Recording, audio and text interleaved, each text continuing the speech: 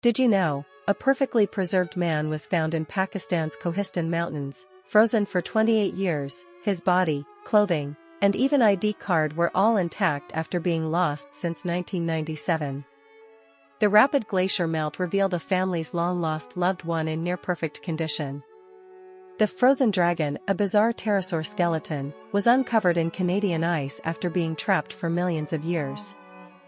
Scientists needed decades to identify this massive winged reptile, a whole new genus from the distant past. In Siberia, reindeer herders discovered Lyuba, a 41,800-year-old baby mammoth, so well preserved in the ice that even her hair and stomach contents survived.